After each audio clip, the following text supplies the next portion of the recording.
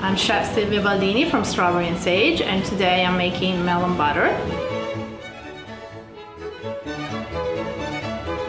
I learned making uh, melon butter from my mother and my grandmother. We used to make it when I was a child because summer melons are perfectly ripe in the middle of summer.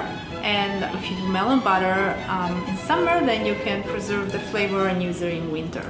I like to use two melons just because you get a little bit more flesh.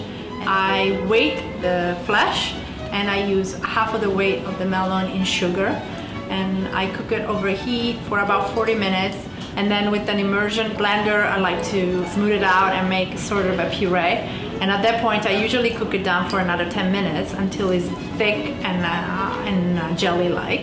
Then you just pour it very hot in, a, in your canning jars and you close it and you inverse it and you're done.